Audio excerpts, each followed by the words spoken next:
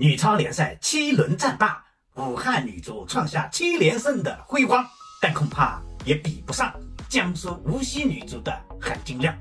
武汉车谷江大今天下午续写辉煌，三比一击败了青年军。青年军的名字叫广东梅州客家。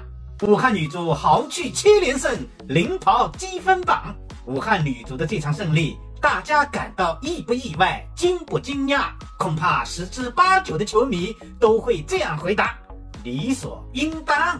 你想想，十六名国家队队员阵容已经无比豪华，再加上乌溜溜的外援塔比沙特姆瓦，试问女超队伍中还有谁如此整齐、如此奢侈、如此强大？果不其然，今天的比赛，武汉车骨江大。只打完上半场，三个球的领先优势到手啦！进球的是塔比莎、马军、古亚莎，这场胜利来得轻轻松松、自然而然，无比正常。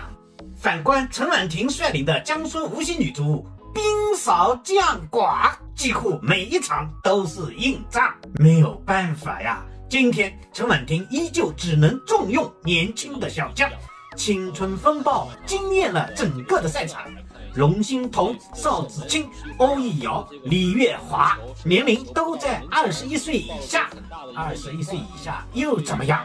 他们都齐齐首发，老将小将奔跑全场，全攻全守，高位逼抢。上海农商银行这是老牌的豪强，今天下午居然真的被江苏无锡女足拿下。要我说呀，长江后浪推前浪，一代更比一代强。只有新人辈出，敢挑重担，锐不可挡，中国的女足才会一直充满希望。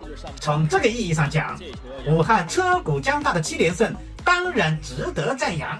陈婉婷率领的江苏无锡女足七战六胜，实事求是的说，应该有更高的含金量。球迷朋友，您觉得我说的？对吗？